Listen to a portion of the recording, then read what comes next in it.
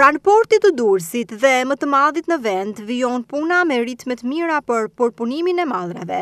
Gjashtë anije tregtare kanë qenë në proces përpunimi në kalatat portuale të portit të Durrësit ditën e djeshme, ndërsa tre të tjera gjatë ditës së sotme.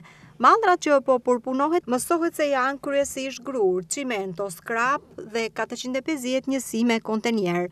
Anijet e ndryshme janë akostuar në molet portuale gjatë orëve të fundit për të vijuar punën me ngarkim-shkarkimin e mallrave. Në orët në vijim priten dhe tre anije tregtare me rreth njëmbëdhjetë mijë e treqind e njëzet e nëntë ton mallra të llojeve të ndryshme si grurë, xhama, hekur dhe melamin.